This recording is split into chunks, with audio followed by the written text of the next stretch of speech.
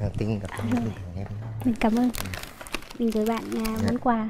Trong nó có một cái à, à, lá thư, bạn có thể đọc à, giùm mình. mở ra đọc đi khoa Dạ. dạ em chân thành vượt qua hàng trăm cây số đi đến chương trình tìm mảnh ghép còn lại. Nếu thấy vấn vương thì cho nhau cơ hội ta về một đội được không? Lãng mạn quá. là đi cô gái pleiku lãng mạn quá. Anh xin gửi lại em bài thơ ha. Dạ, lần đầu ta mới gặp nhau. Dạ, nhìn em anh đã muốn trao tim này. Dạ vâng, ông mai bà mối ở đây. Dạ. mình nên trân trọng từng giây phút này. À, dạ. Wow rồi hơi bị ghê đó nha đây thôi thì mình bỏ bông đây quà cáp đây xong mình ngồi ghế mình nói chuyện đi cưng À, dạ vâng. Ừ.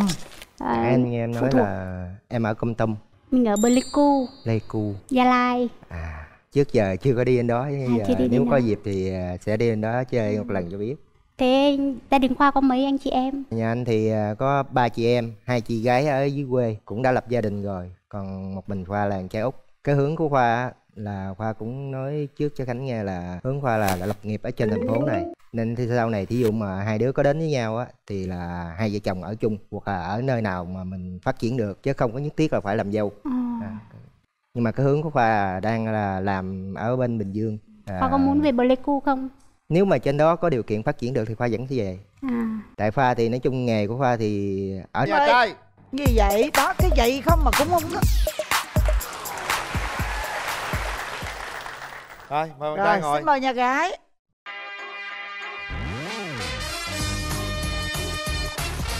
Này đi cưng mời nhà gái giới thiệu về mình dạ chào chị Hồng Vân, dạ chào anh Quyền Linh ạ. Chào dạ, chào quý vị khán giả. Dạ em xin tự giới thiệu, em tên là Đỗ Thị Khánh và em đến từ Pleiku. Dạ em năm nay 38 tuổi. 38 tuổi em đang làm nghề gì Dạ em làm à, tự do. làm kinh doanh tự do hả Dạ. xin mời nhà trai đôi mắt pleiku ha Xin chào anh Quyền Linh, chào em chào chị Hồng Dân, Ừ. chào bạn nữ bên kia, chào quý vị khán giả. Em tên là Nguyễn Tấn Khoa, sinh năm 1983, Sóc Trăng là nơi em sinh ra. Hiện tại em đang lập nghiệp phương xa, Bình Dương tạm trú là nhà. Em à, làm nghề nghiệp là mua bán sửa chữa máy vi tính. khoa quê sóc trăng ha khánh khánh tự giới thiệu thêm nhiều nữa về mình đi điểm yếu điểm mạnh là cái gì nè Về điểm à, yếu, điểm yếu trước đi là Khánh nấu ăn dở lắm. Nhưng mà tùy khẩu vị thôi. Kiểu như Khánh nấu cho Khánh ăn thì Khánh thấy ngon.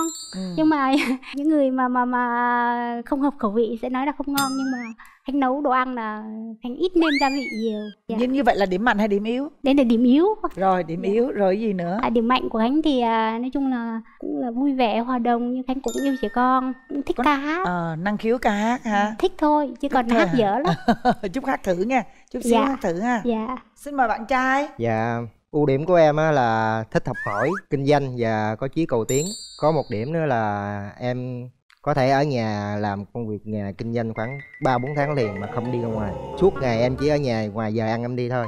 Còn nhược điểm của em thì à, không biết nấu ăn, có hút thuốc, cũng hơi bề bộn trong công việc. Nhiều khi em em mà làm cái gì thì em phải quyết cho làm xong rồi em mới dẹp chứ không phải là đang làm gì phải dẹp lại gọn ghẽ hết mới em mới dẹp. Là em phải làm xong công việc hết. Ừ. lúc em làm thì em có thể bài ra nhưng mà khi em làm xong là em phải dọn dẹp sạch sẽ hết. Cái hay của khoa là có thể ở nhà mấy tháng trời không ra ngoài đường luôn á. Dạ đúng rồi. Hay đó.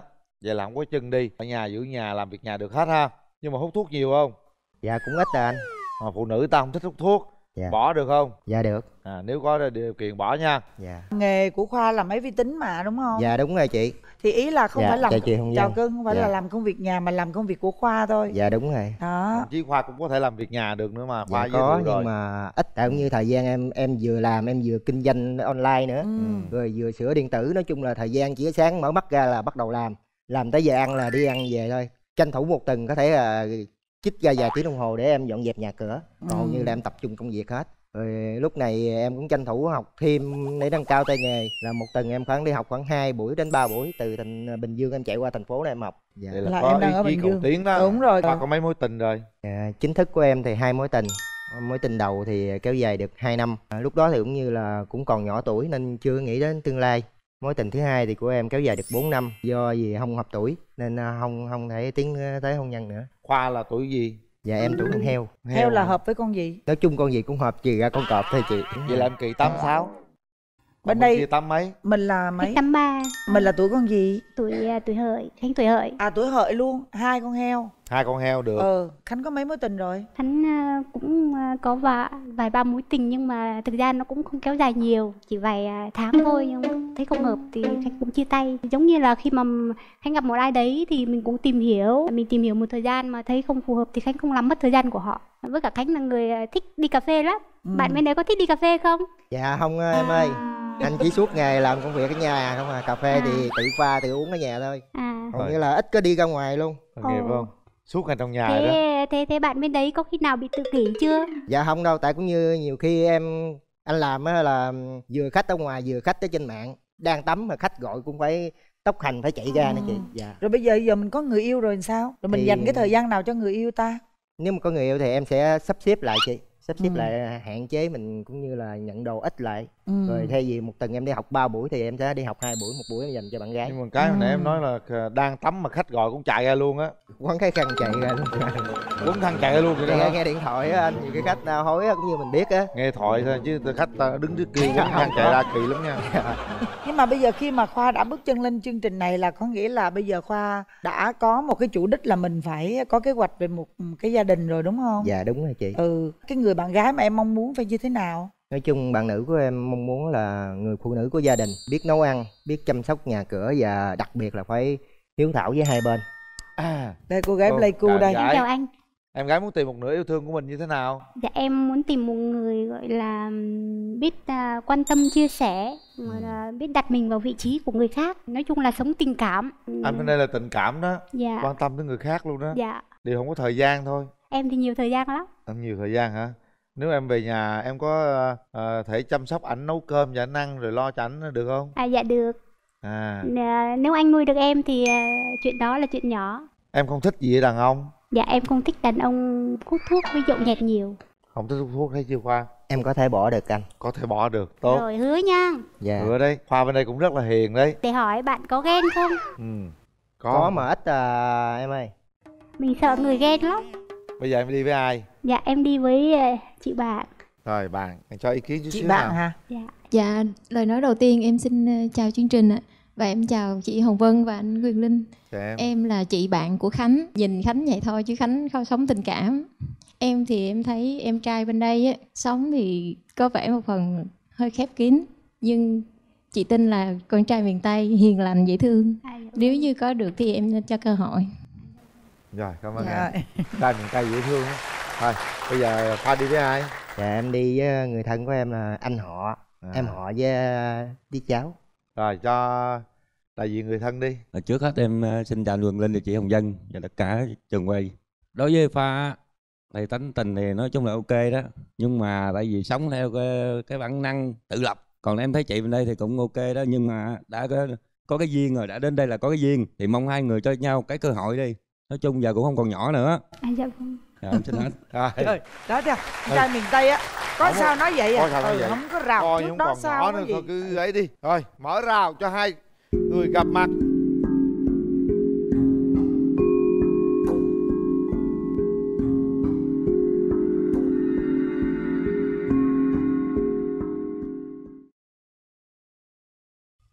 Đầu tiên gặp em em mình cảm ơn.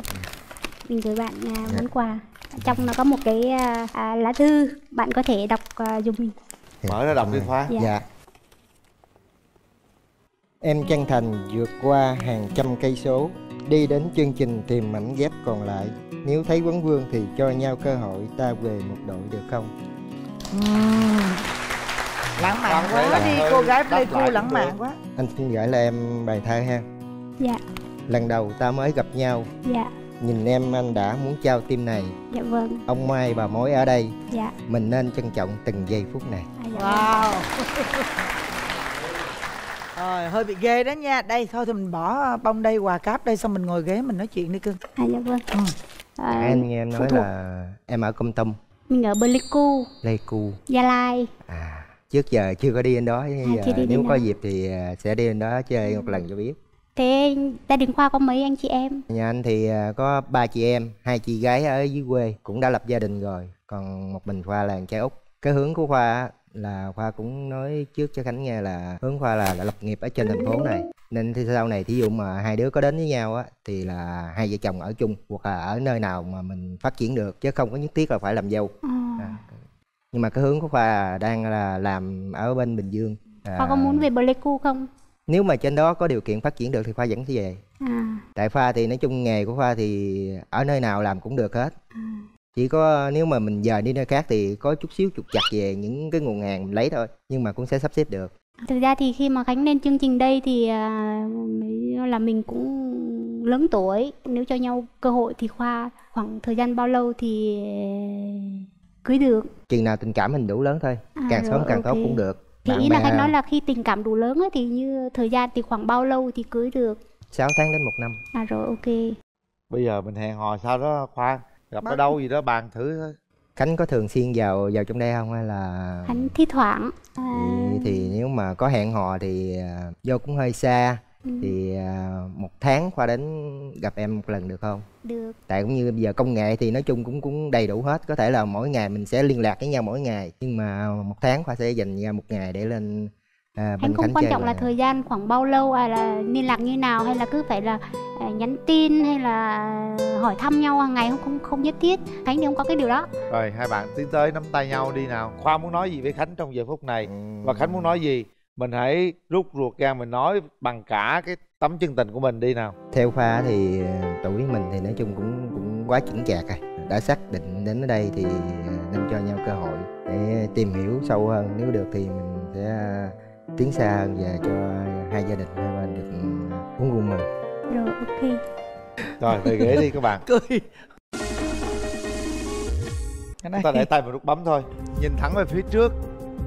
Hình dung xem đây có phải là một nửa mảnh ghép của mình hay không? Nếu đúng chúng ta bấm nút đừng ngại ngùng gì cả. Nếu không không cần bấm. Chuẩn bị. Một hai ba. Hết thời gian. Chúc mừng. Nào nắm tay nhau. Được rồi đó. Tôi nghe hai cái cạch cạch tôi đã sao đâu á. À, rồi bây giờ thì à, khoa nhìn về màn hình và nói với gia đình của khánh những điều gì đi Dạ, trước tiên thì à, cho con xin phép chào hai bác và gia đình bên à, nhà gái. Hai đứa con đã may mắn được tìm thấy với nhau trong chương trình này. Sau này nếu tìm hiểu được à, đến với nhau thì con hứa sẽ chăm sóc Khánh và phía bên gia đình được chu đáo hơn. hay Vâng. quá rồi bây giờ có à, làm cái à, một cái à, không thể thiếu được cho một cái à, kết thúc rất là happy như thế này đó là đặt nụ hôn vào má của cô ấy. À, cho Khoa xin phép nhà gái. À, em cho anh xin phép ừ, hôn chán đi. Không hôn má. Hôn chán là ba hôn con đó. Nhẹ nhàng. Hít vô. Tặng bạn một bộ sản phẩm viên uống mắc he ngăn ngừa rụng tóc kích thích mọc tóc nhanh chắc khỏe và bóng mượt mắc he dùng tốt cho cả nam và nữ Thương hiệu thời trang thiết kế The Maven gửi đến bạn voucher giảm giá 30% khi đến mua sắm trực tiếp tại các cửa hàng. Mong rằng những bộ cánh lung linh tại The Maven sẽ giúp buổi hẹn hò của bạn thêm phần lãng mạn và đầy yêu thương.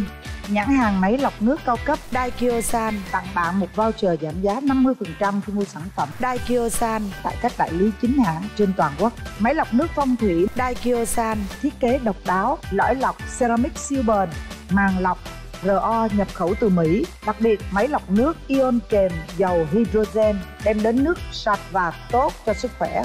Nếu hai bạn tính đến hôn nhân, Daikyosan sẽ tặng máy lọc nước phong thủy Ion kèm trị giá 13 triệu 800 ngàn đồng. Daikyo-san phong thủy ngũ hành vượng khí thăng hoa. nước khoáng đảnh thành Vicoda tặng bạn sản phẩm nước khoáng kiềm thiên nhiên Vicoda với độ pH tự nhiên 8.5 giúp trung hòa lượng axit dư thừa rất tốt cho sức khỏe đặc biệt về tiêu hóa sản phẩm được đóng chai ngay tại nguồn khoáng đảnh thành đảm bảo chất lượng đồng nhất giữ trọn vẹn các khoáng chất cần thiết cho cơ thể Chương trình gửi tặng đến hai bạn phần quà từ nhãn hàng thép Vina Kioe, thép xây dựng Nhật Bản, tinh thần thép. Nhãn hàng thép Vina Kioe, thép xây dựng Nhật Bản, tinh thần thép hân hạnh tài trợ phần quà trị giá 20 triệu đồng dành cho những cặp đôi chính thức trở thành vợ chồng từ chương trình Bạn muốn hẹn hò. Rồi đây là bó hoa tình yêu của Khoa dành cho Khánh.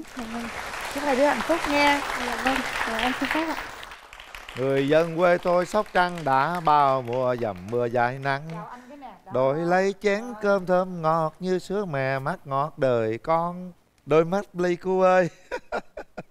Dễ thương quá à.